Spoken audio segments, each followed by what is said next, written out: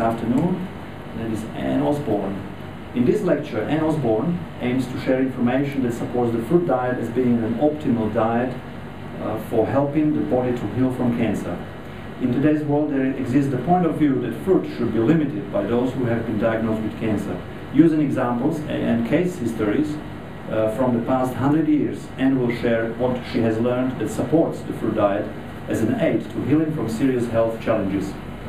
Anne began her journey on the fruit diet in 1991. She has raised two very happy and healthy children on this diet. Kepi, her younger child, has accompanied Anne to fruit festivals in Europe and to the United States. Has Anyone been to the fruit festivals? Yes? And the three? Excellent. Anne's book Fruitarianism, The Path to Paradise, was uh, published in English in 2009, and the Italian version, Frutarismo, la via verso il paradiso, any Italians in the room? No? was published in 2011 and is currently ex Assistant Executive Director of the world's largest fruit festival held in New York State, US, uh, and is also freelance author and illustrator. Is anyone connected with Anne on Facebook? Have you seen her creations of uh, food, artistry? Something amazing. I cannot find those pictures anymore. I had them in slides from presentations, uh, from past presentations. I, could, I couldn't find them. I have to look for them. Anne has given presentations on the fruit diet in Australia, Asia, Europe, and the United States. In her spare time, Anne enjoys gardening, sewing, reading, photography, and walking. Anne believes that fruit diet is the most compassionate, the most environmentally positive, the healthiest, and the most rational way forward for our planet. And she enjoys helping to promote this diet by her writing, talks, and artwork. Please welcome to the front Anne Osborne. Thank you. Thanks. Okay. Which is the pointer, the one in the middle? Yeah. That one. Red one. Okay.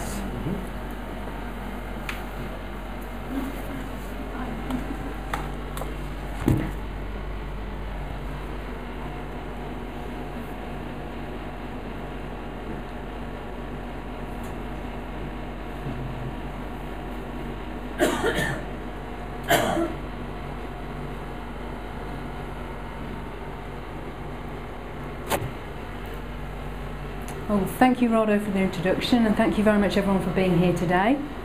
Today, I'm going to talk about fruit and cancer. And the reason I put this presentation together was because in the past five years, I was getting a lot of people coming up to me and saying, well, you know, my friend's got cancer, I've got cancer, I shouldn't be having fruit. And this was something that I hadn't heard before, only really the past four or five years. And I've been doing this diet for about 25 years now. And when I started out, there was only two main types of raw vegan diet. There was the Ann Wigmore, the Hippocrates type of raw vegan diet, which was high in wheatgrass and sprouts and vegetables and lower in fruit. And there was the Arnold Ehret influenced fruit diet, which was based on fruit with tender greens and vegetables if desired. And there was no sort of animosity between the two groups. You just did the one that worked best for you. And I appreciate that many people have healed and, you know, um, rebalanced their bodies through the Hippocrates, so the lower fruit diet. And this talk isn't about saying, you know, what's the best diet for everyone or everybody should be following what I do. Because I think there's no best diet. The best diet is the one that works best for you personally. And I think it's the responsibility of us all to find that out by experimenting, by reading, by networking. But I did feel a need to put a talk together about fruit and cancer because everything that I'd read and researched in the past 25 years was contrary to this belief that if you've got cancer, you shouldn't be having any type of sugar at all. And so there's um.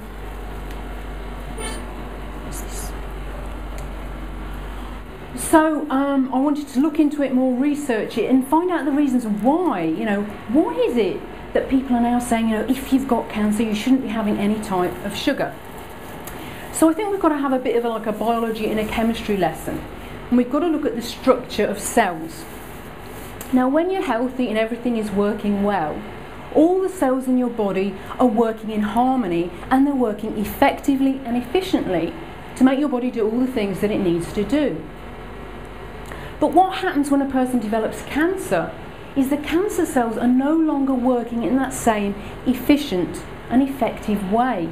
They become depolarized, and we'll look at that in more detail later.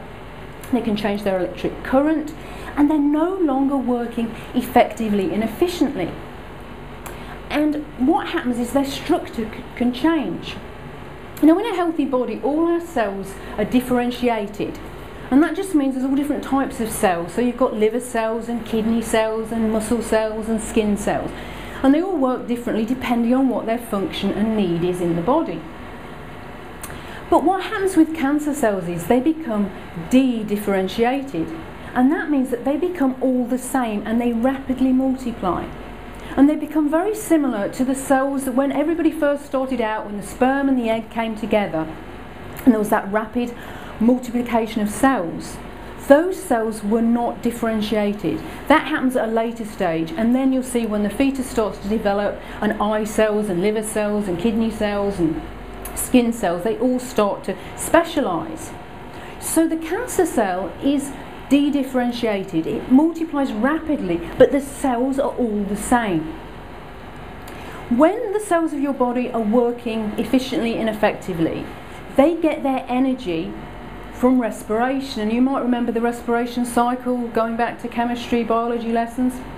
what happens basically with a respiration cycle is that glucose, in the presence of oxygen, turns into water and carbon dioxide and produces ATP, which is adenosine triphosphate. Now, ATP is the energy currency of the body. We all need ATP in the cells in order to do anything. So, all the functions of the cells, all the energy that the cells require is ATP.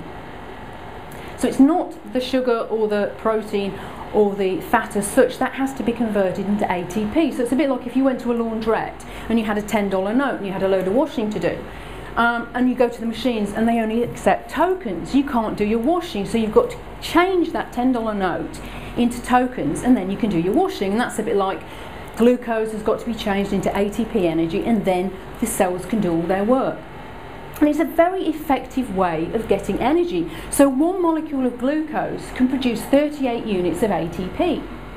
Now with the cancer cell, what happens is it's a primitive cell, it's gone into a primitive form.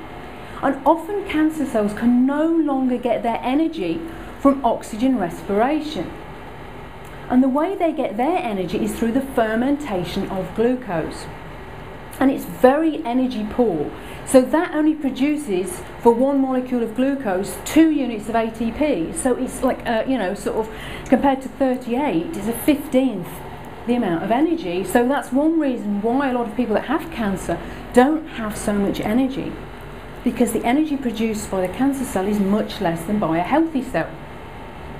And so this is where I think we have to look at. This is where it's coming from. In the past about only about I think about 5 years that I've noticed that people are saying if you have cancer, you should limit your sugar. Purely because of this fermentation of glucose. And even if you, you know, healthy cells, they still need glucose to get their energy. It's just they use it through oxygen respiration rather than fermentation. And the other thing that people will say as why you should avoid sugar, any type of sugar, if you have cancer, is that fructose will accelerate the division of the cancer cells and it will cause the tumours to grow. So what I'm going to do now, I'm going to look at four points that I think are important when we're looking at this allegation that, you know, don't have fruit if you've got cancer. Now, the first point is that the body is an alchemist. It can take one substance and it can change it into another substance. For example, you may decide to eat a very, very low fat diet. So you're taking very small amounts of fat. But you may be having a lot of refined carbohydrates. So you may be having a lot of refined sugar, fizzy drinks, um, white bread, white pasta. Now, what will happen if you take a lot more refined carbohydrates than you need? You will put on weight in the form of fat. And you can even do it with fruit. There's even people, if they eat too much fruit, it's much harder than if you're eating processed grains and carbohydrates. But you'll put on adipose tissue because both sugars and fats are comprised of the same three elements carbon, hydrogen, and oxygen. So the body can take sugars and convert them into fats for storage. And similarly, even though it takes a lot of energy to do so, the body can also take fat and convert it into glucose in the body if it's needed. So even if you're omitting all sugar from your diet and you're having a lot of fat, that fat still can be turned into glucose for fermentation of the um, with the cancer cells. So that's the first reason. The body is an alchemist, and so even if you limit your sugar, your body still may change other substances in your body to sugar. The second point, which I think is really, really important, is that all sugars are not created equal. You know, the sugar in a, in a bowl of cane sugar compared to the sugar in a mango picked fresh from the tree, there is a world of difference. There's so much difference. But people might say, well, hey, you know, if you're going to do the chemistry thing, that molecule of fructose in that mango, if I look at it, if I look at its chemical structure, it's exactly the same as that molecule in the industrial sugar. So, industrial sugar is a term for sugars like high fructose corn syrup and sucrose that's been made in a, a cane factory. They might say, well, the molecules look the same, so how come they have such a different effect in the body? And there's two main reasons I think for this. The first reason why they have such a big difference in the body is because that sugar is not in isolation. That sugar in a piece of fruit is connected with fibre and phytonutrients, and that makes a huge difference to how a substance will affect a person. The second reason is an energetic level, a vibratory level that can affect two molecules that may look exactly the same. So first of all, I'm going to give some examples of the first type of, um, uh, you know, how it affects having the phytonutrients and the fibre and the other elements in the fruit. And there was a study done that wanted to show the effects of like sugary drinks. So they got a glass of water and they added three tablespoons of sugar and they gave it to people to drink. And what they noticed afterwards, which you might expect, is huge insulin spikes after the sugar water had been drunk. That was having a very negative effect on the body. And when that get that insulin spikes, it also floods the blood with fat. So really not a very healthy thing. Now, those researchers then added blackberries and lingonberries to that sugary water. And so there was actually more sugar in there. Instead of three tablespoons of sugar, there was now four tablespoons of sugar. But guess what? The insulin spikes were blunted and the blood was not flooded with fat. So even though there was more sugar in that drink, because it was from fruit, it actually stopped the insulin spikes and blunted them. And then they thought, well, you know, what if we take the fibre out of the fruit? Because there's a lot of people saying, well, don't have any fruit juice because that just acts like alcohol, it destroys your liver, damages your liver. So they took the fibre out. And when the fibre was taken out, guess what? There was still blunting of the insulin and there was still no fat flooding the blood.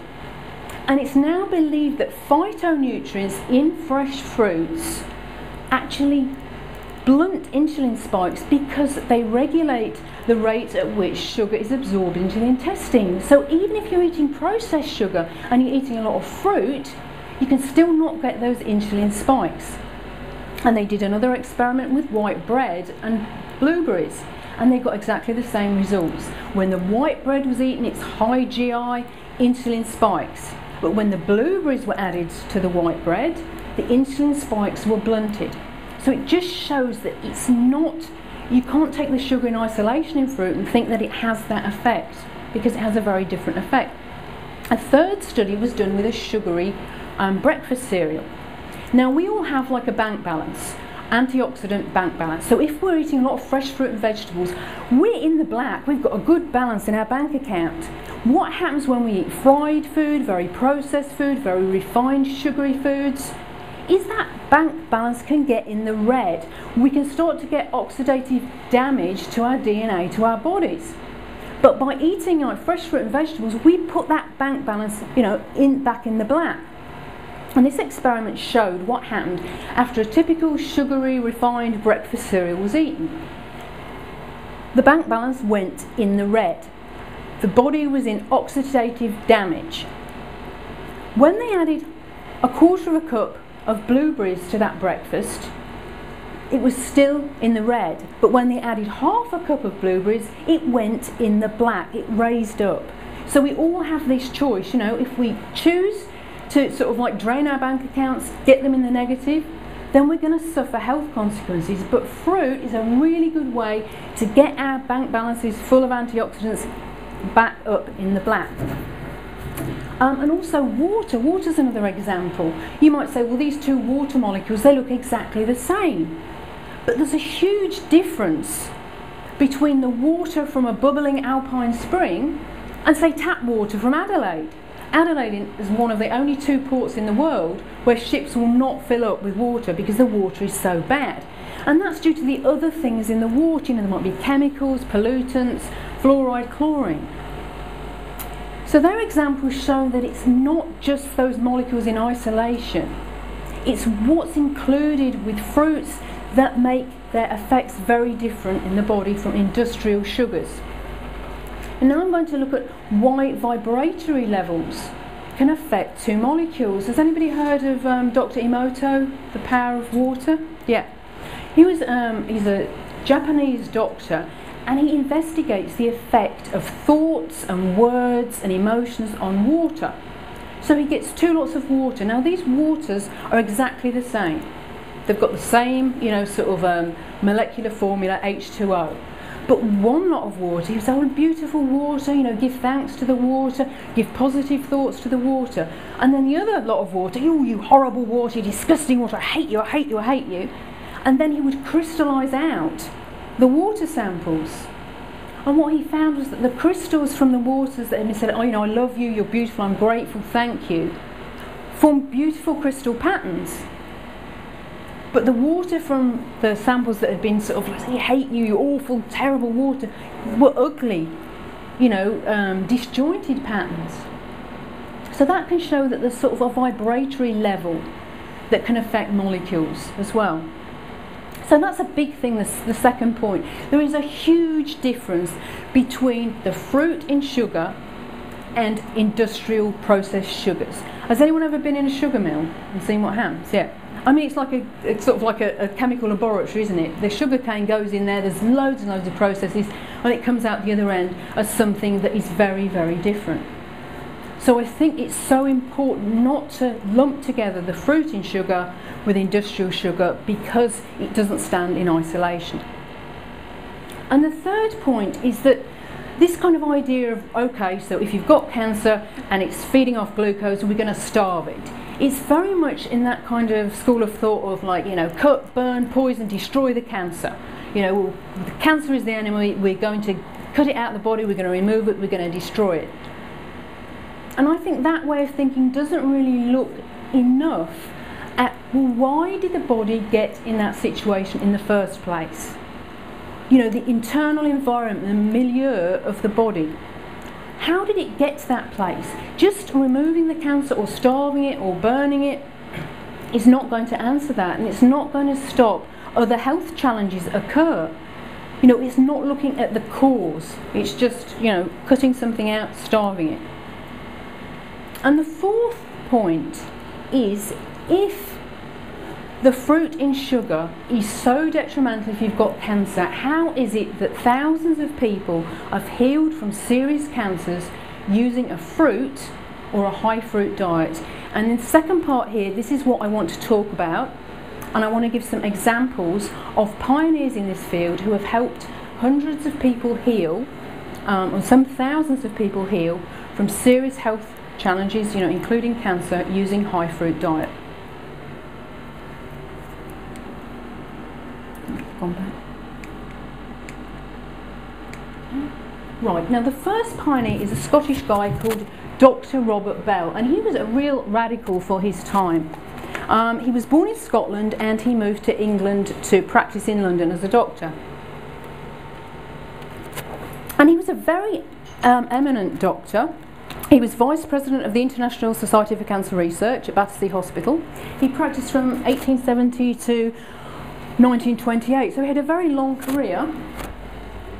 He wrote this book, which is from 1923, The Conquest of Cancer. and he was very highly esteemed. He wasn't some quack, you know, putting out these ideas about, you know, fruit and vegetables healing cancer. He was offered a knighthood by Edward VII because he was so esteemed in royal circles and he was so much appreciated as a doctor. Now, Robert Bell very much believed that it was the internal environment of the body and it was the foods we put into it which could help us not get cancer or heal the body from cancer if we did have it. And in um, 1894, he stopped surgery. He stopped practicing surgery because he believed that it wasn't the way. It wasn't the thing to take the cancer out of the body. That wasn't the solution. The solution was to change the diet and lifestyle. I'm just going to read out a couple of, of quotes.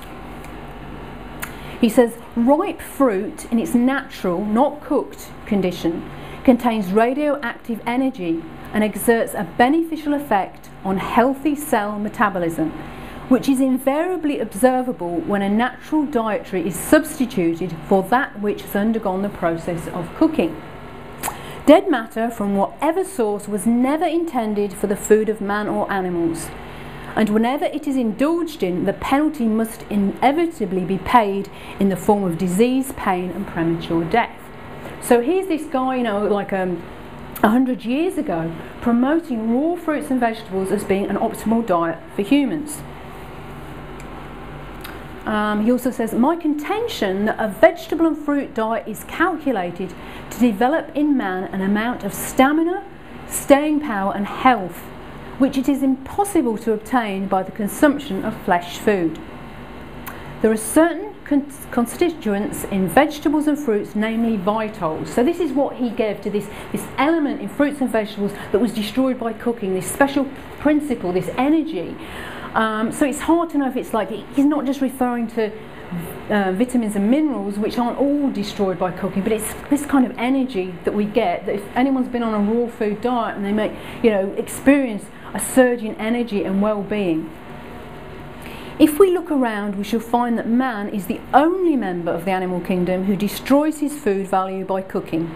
He ignores the fact that the cells of his body, like those of every living creature, are only able to retain a healthy functional activity if they are provided with a pabulum from which the living principle has not been destroyed by heat.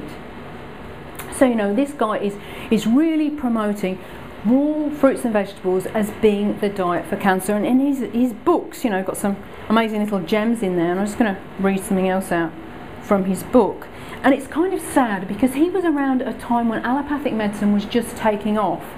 And there was a real potential at this time if people had followed these teachings rather than the allopathic method of treating cancer, that cancer actually wouldn't be very well known today. And I'll just read a quote from the book. I feel I may with confidence state that it is not my own experiences alone, but that of many others, which enables me to testify to the value of this method of treatment.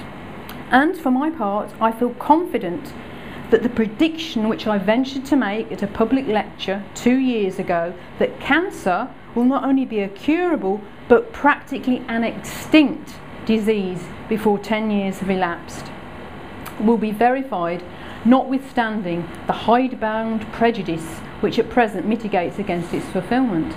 So he was saying in 1923 that by 1933 cancer would be pretty much extinct if people followed the premises in these books and his teachings not to cut out cancer, not to burn the body, not to give it radiotherapy and chemotherapy, but to change the diet and lifestyle and to change that environment because he very much believed it was the environment of the body and the state of the blood which protected people from cancer.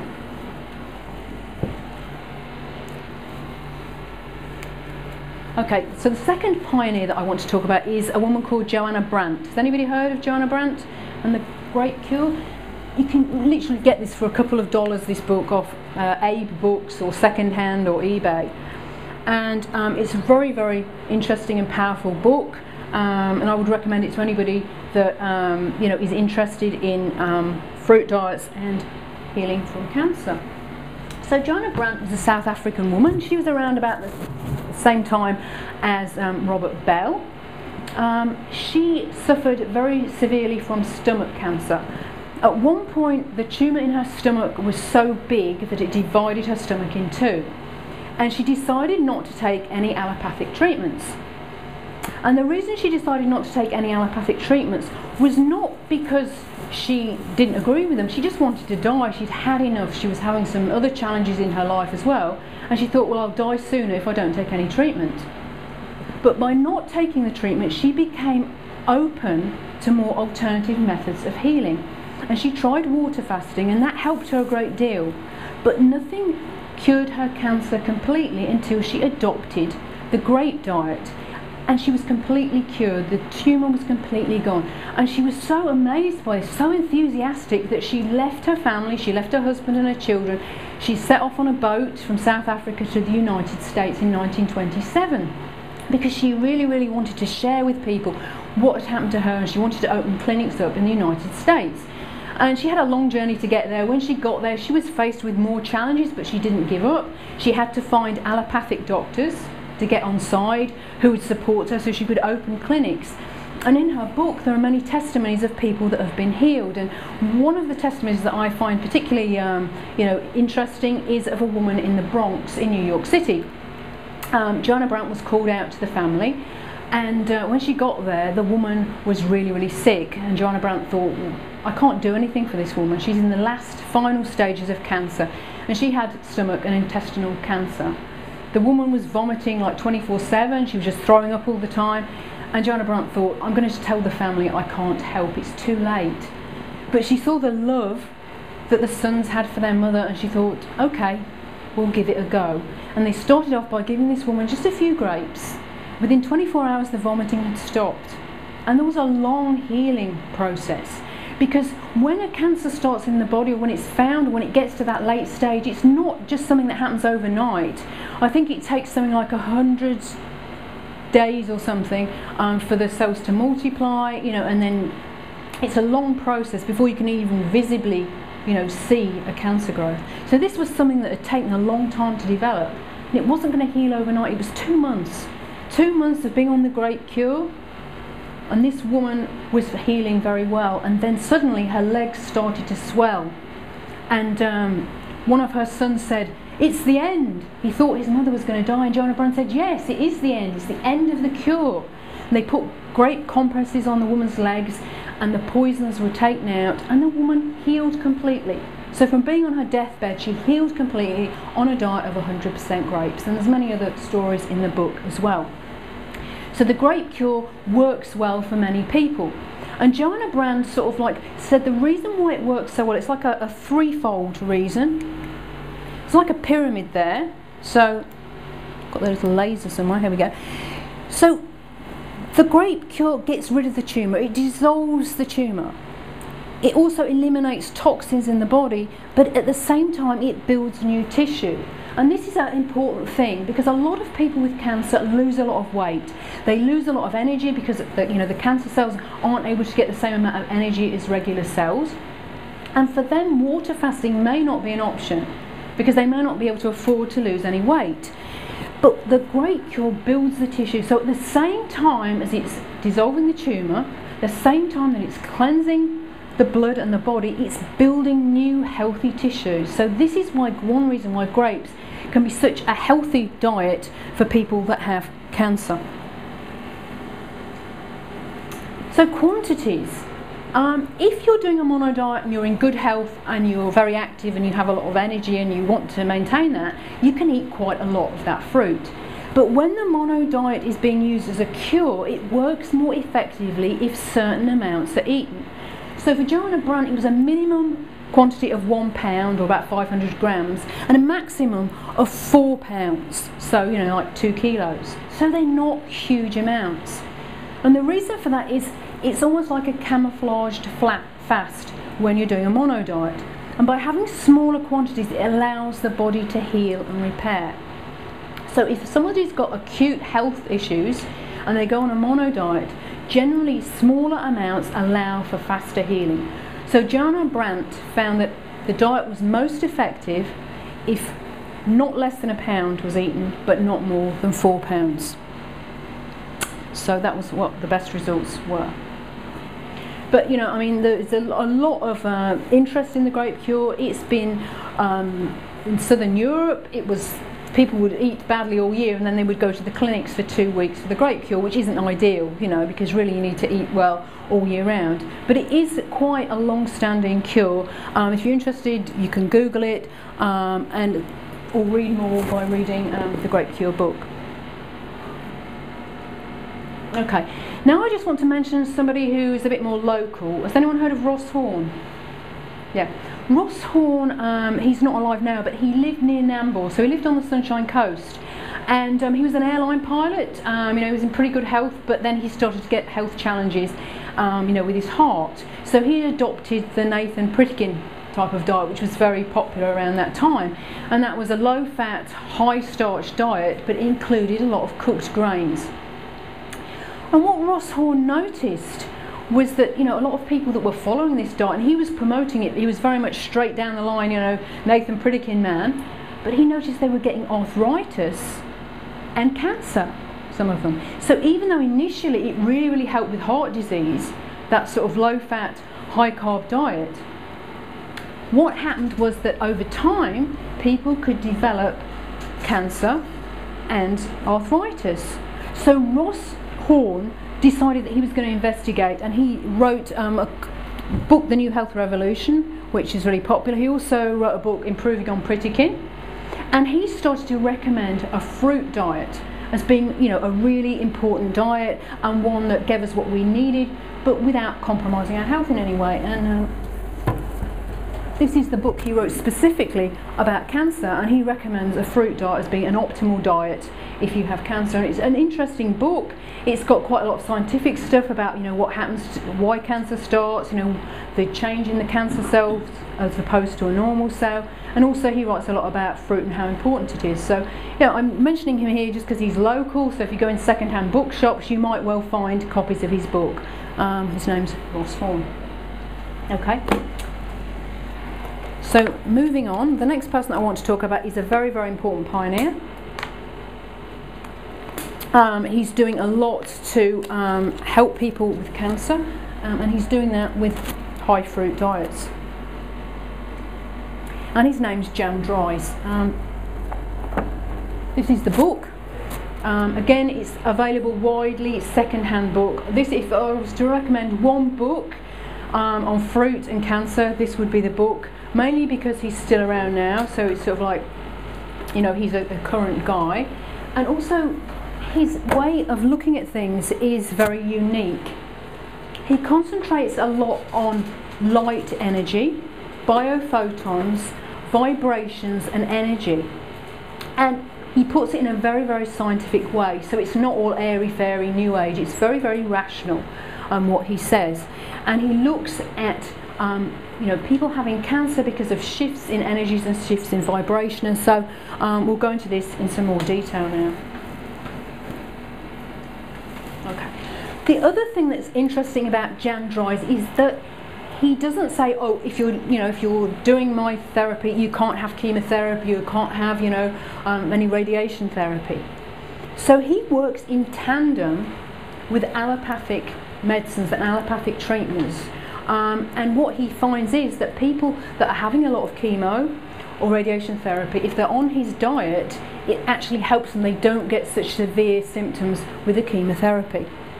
Um, and so what Jan Dries discovered was a frequency, an energetic frequency, because he looks at frequencies, um, wavelengths and frequencies, which he measures with a device called the Lecher antenna. So it's scientifically measured different frequencies. So everything has a different frequency. So there'll be a frequency for the liver and the kidney, and there'll be frequencies of somebody that's healthy as opposed to somebody that's not healthy. So you'll have more of an amplitude. Um, so if a person, for example, um, has got a high um, amplitude on the frequency of cancer resistance, it's very, very unlikely that they will get cancer. Um, and he says cancer resistance differs from the usual defense mechanisms of the body because our normal defense mechanisms are not capable of recognizing tumors as a foreign element. And that's because the cancer cells are part of us. They're not foreign. You know, if you have, if you cut yourself and you get some dirt or some bacteria in your wound, or you inhale a virus, you're immune system goes into sort of like crackdown because it recognizes a pathogen or a bacterium or a virus because it's not part of you. But this is one reason why cancer is so hard to detect because they're your cells. So your normal immune response, your normal defense system doesn't work in the same way because it doesn't go into attack on the cancer cells because the cancer cells are your DNA. They're not some foreign DNA that's coming in. So he says when a person has low energy, they are more likely to get cancer if the decrease in energy takes place on the frequency of cancer resistance. If a person has high enough bioenergy on the cancer resistance frequency, the person is unlikely to get cancer. So his whole book focuses on foods that raise the cancer resistance frequency. And those foods are fruit.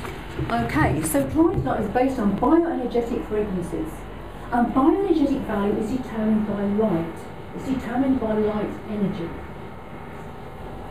And flowers are the best light absorbing part of the plant. The enormous amount of light energy that has been gathered then passes to the fruit. So this is why fruits are very, very high in bioenergetic value and light energy and photons because they absorb it. Know, if you've got foods, his diet doesn't concentrate really on foods that grow below the ground because they don't have that same light energy, they don't have the amount of biophotons or the intensity of um, biophotons. And certain fruits vibrate on the frequency of cancer resistance, and this is the sort of the main point that underpins his whole book. He concentrates on giving people who have cancer those fruits which vibrate highly on the frequency of cancer resistance. And again, in the book, there's some amazing testimonials from his patients. There was one woman, her name was Aunt Jane Mailer. She had a tumour under her collarbone and she went to see her oncologist. And she was really, really excited because she was so excited to start on the Dries cancer diet. And she went to see him and she told him all about it. And he looked at her and he said, Nobody's ever cured themselves by diet. So anyway, off she went. Eleven days later, when she'd been following the Dries cancer diet, she went back to her oncologist and he couldn't find the tumour. It was completely gone. And he said, What diet have you been on? She said, Well, nobody's ever cured themselves by diet. And he apologised to her and he said, I've never seen anything like this in our whole history. Um, he said, I'm about to retire, but I really want you to be my last case. This is the touchstone of my career. That's just one example. So, you know, it's a very powerful diet for enabling people to heal from cancer. So these are the fruits. I mean, the book covers everything, and he classifies, you know, food into different categories. His number one category is those fruits that vibrate on the frequency of cancer resistance. So they've got that frequency, they've got that wavelength. And the number uno, number uno, the number one, is the pineapple. Um, also in the number one group are cactus fruits, so prickly pears and dragon fruit avocados, raspberries and orange flash melons. So of all the foods they tested, these were the fruits that vibrated on the level of uh, cancer resistance. And within those fruits, the pineapple is so good because, you see, this is a pineapple that's growing in my garden. Pineapples are really easy to grow. If you just get the top of a pineapple and throw it down in your garden, in two years, you know, it'll often throw a pineapple fruit. So that's the little flowers. Not many people see that. So each pineapple fruit is made of lots and lots of, of little fruits. They've all got their own flower. So all those flowers are absorbing all that light energy, all those biophotons are going into that pineapple, which makes it very, very high um, in terms of biophotonic energy. So pineapples are really good for that reason. Okay. So fruits that have a high bioenergetic value, or BEV, on the frequency of cancer resistance can help depolarize the cancer cells. Because what happens in a cancer cell is it becomes depolarized, which means the charge changes. In a normal healthy cell, the cytoplasm has a negative charge and the extracellular fluid on the outside has a positive charge. And that keeps a good balance in the cell. It keeps good polarity and it also um, you know, gives a, a, a high resistance. And um, so a high BEV means a high intensity or amplitude of that frequency. So you can imagine like a radio station, you know, or you've got a radio and you want to tune in to the cancer resistance station and that's on a certain frequency. So like oranges may be a great fruit, but they may be high on immune, you know, the, the frequency for immune system, but they're not on that frequency for cancer resistance.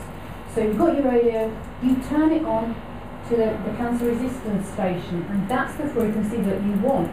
Now amplitude uh, means slightly loudness. So if your radio is really loud, you've got a good volume, that means that there's a high amount of amplitude on that frequency, and that's what you want. So with the pineapples, with the prickly pears, with the avocados, with the raspberries, with the orange fresh, flesh melons, they've all got a loud you know, amplitude, they've got a high amplitude on that frequency, which is why they are used in the diet. The amount of biophotons is also important, so it's combined, because the intensity um, or the, the frequency is, you know, sort of like the intensity of the biophotons, but the amount is also important as well. And the number of biophotons is affected by ripeness, storage, chemicals, soil, and the way the fruit is grown. So if we've got a, a pineapple that's been organically grown, it's been picked ripe, it's been grown in good soil, that will have a lot of biophotons. But because it's a pineapple, it will also have a lot of biophotons on the frequency of cancer resistance, so of a good amplitude.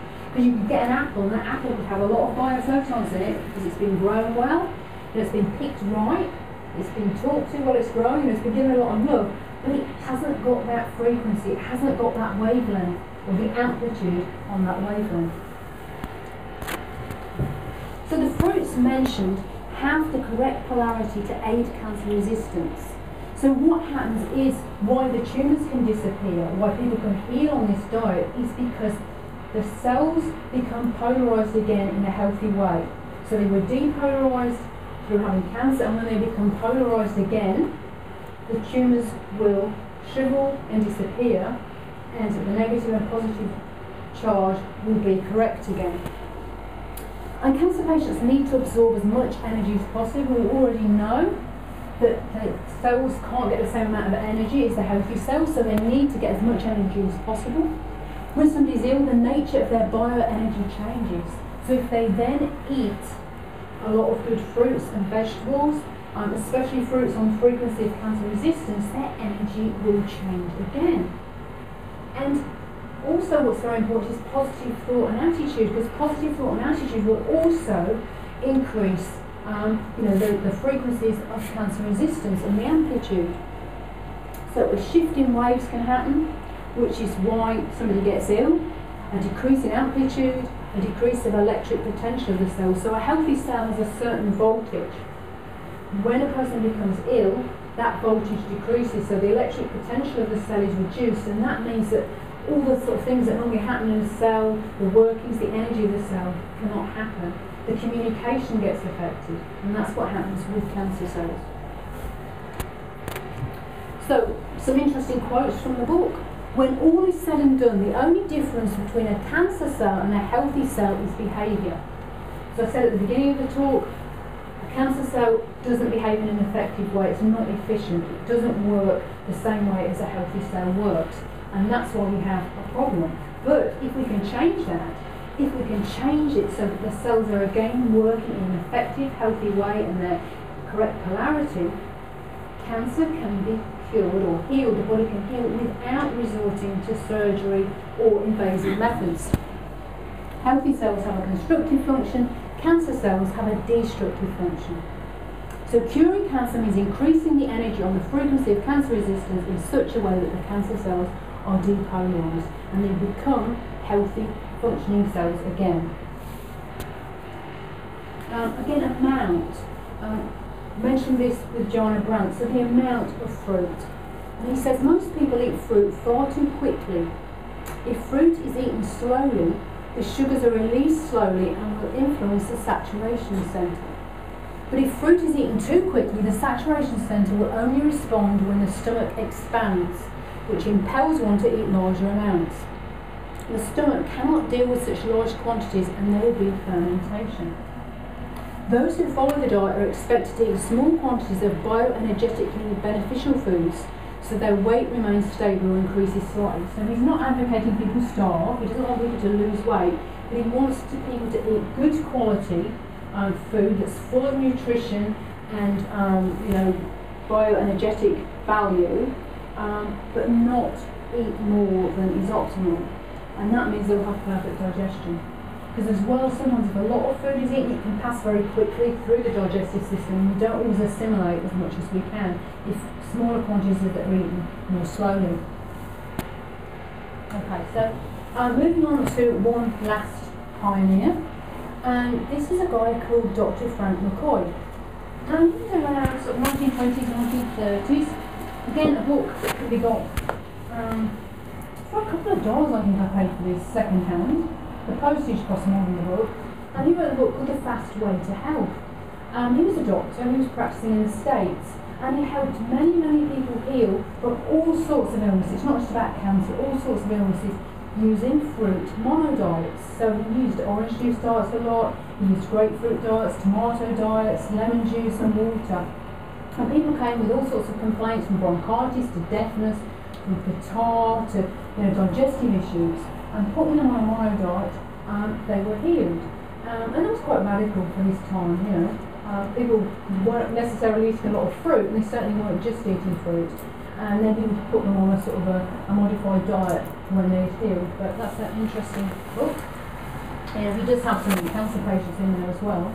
Um, and at amounts that he says, so um, he would say like a glass of orange juice three times a day, or the juice of one orange every two hours. And that's not huge amounts.